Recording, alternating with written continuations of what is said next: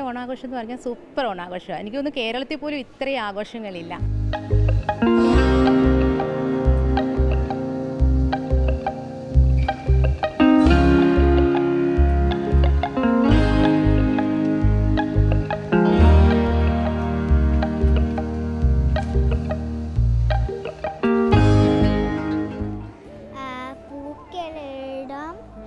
ചോറെണ്ണം പുതിയ ഡ്രസ്സൊക്കെ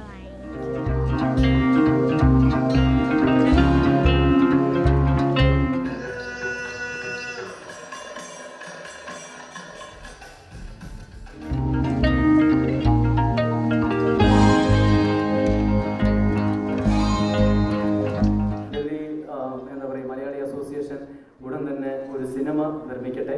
അതിൽ നായകനായിട്ട്. അല്ല അത് അങ്ങനെയൊക്കെ